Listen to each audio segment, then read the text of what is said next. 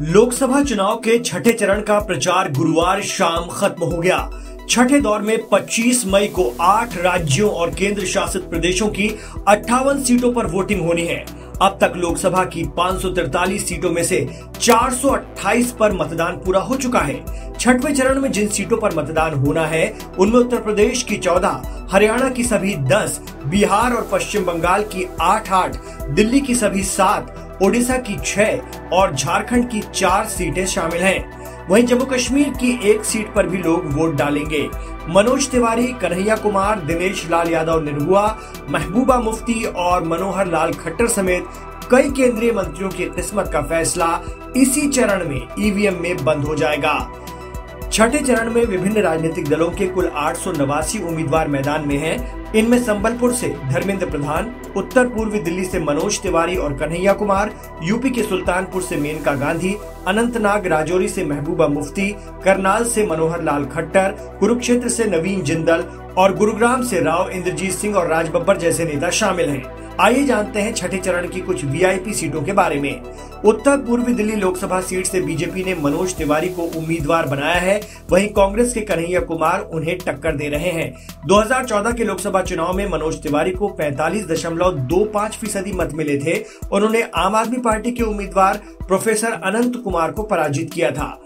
वहीं नई दिल्ली लोकसभा सीट पर पूर्व केंद्रीय मंत्री सुषमा स्वराज की बेटी बांसुरी स्वराज और आम आदमी पार्टी के नेता सोमनाथ भारती के बीच मुकाबला है। 2014 के लोकसभा चुनाव में भाजपा की मीनाक्षी लेखी ने इस सीट से आम आदमी पार्टी के आशीष खेतान को पराजित किया था, लेकिन बीजेपी ने इस बार बांसुरी स्वराज को उनकी जगह टिकट दिया है। यूपी के सुल्तानपुर लोकसभा सीट से बीजेपी ने पूर्व केंद्रीय मंत्री मेनका गांधी को उम्मीदवार बनाया है। उनके खिलाफ सपा ने राम भुआल निषाद को चुनावी मैदान में उतारा है। 2019 लोकसभा चुनाव में इस सीट से मेनका गांधी ने बीएसपी के चंद्रभद्र सिंह को पराजित किया था। वहीं आजमगढ़ लोकसभा सीट से बीजेपी के दिनेश लाल यादव निरहुआ और सपा के धर्मेंद्र यादव के बीच मुकाबला है।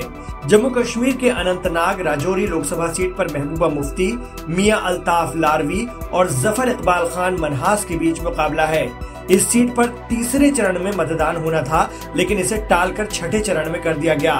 पश्चिम बंगाल की तमलुक लोकसभा सीट पर बीजेपी ने रिटायर्ड जज अभिजीत गंगोपाध्याय को उतारा है। वहीं टीएमसी के देबांगशु भट्टाचार्य भी चुनावी मैदान में हैं। अभिजीत गंगोपाध्याय हाल ही में न्यायाधीश पद से इस्तीफा देकर चुनाव मैदान में उतरे हैं। हरियाणा के करनाल लोकसभा सीट से बीजेपी ने पूर्व सीएम मनोहर लाल खट्टर को प्रत्याशी बनाया है। जबकि कांग्रेस ने दिव्यांशु बुद्धि राजा और जेजेपी ने देवेंद्र कादियान को मैदान में उतारा है। इस सीट पर साल 2019 में बीजेपी के संजय भाटिया ने कांग्रेस के कुलदीप शर्मा को पराजित किया था। वहीं कुरुक्षेत्र लोकसभा सीट से बीजेपी ने उद्योगपति नवीन जिंदल को मैदान में उतारा है। आम आदमी पार्टी ने सुशील गुप्ता और इनेलो ने अभय चौटाला को प्रत्याशी बनाया है। साल 2019 के लोकसभा चुनाव में बीजेपी के नायब सिंह सैनी ने कांग्रेस के निर्मल सिंह को यहाँ से पराजित किया था। ओडिशा के पुरी लोकसभा सीट से बीजेपी ने संबित पात्रा को उम्मीदवार बनाया है। बीजेपी के अरूप पटनायक और कांग्रेस ने जय नारायण पटनायक को उनके खिलाफ मैदान में उतारा है। 2019 के लोकसभा चुनाव में बीजेपी के पिनाकी मिश्रा ने संबित पात्रा को हराया था। वहीं राज्य के संबलपुर लोकसभा सीट से बीजेपी ने केंद्रीय मंत्री धर्मेंद्र प्रधान को मैदान में उतार दिया है। उनके खिलाफ बीजेडी के प्रणव प्रकाश दास मैदान में हैं। साल 2019 के लोकसभा चुनाव में बीजेपी के नितेश गंगा देव ने बीजेडी के नलिनी कांता प्रधान को पराजित किया था।